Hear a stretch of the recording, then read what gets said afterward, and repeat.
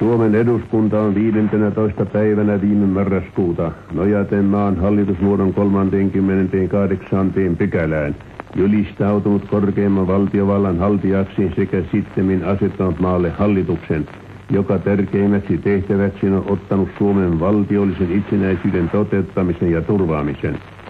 Tämän kautta on Suomen kansa ottanut kohtalonsa omiin käsiinsä, ja nykyiset olot sekä oikeuttavat että velvoittavat sen siihen. Suomen kansa tuntee syvästi, ettei se voi täyttää kansallista ja yleisinhimillistä tehtävänsä muuten kuin täysin vapaana. Vuosisatainen vapauden kaipuumme on nyt toteutettava. Suomen kansan on astuttava muiden maailman kansojen rinnalle itsenäisenä kansakuntana.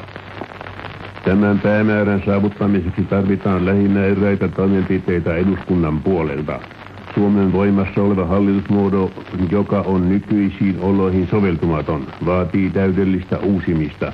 Ja siitä syystä hallitus nyt on eduskunnan käsiteltäväksi antanut ehdotuksen Suomen hallitusmuodoksi. Ehdotuksen, joka on rakennettu sille perusteelle, että Suomi on oleva riippumaton tasavalta.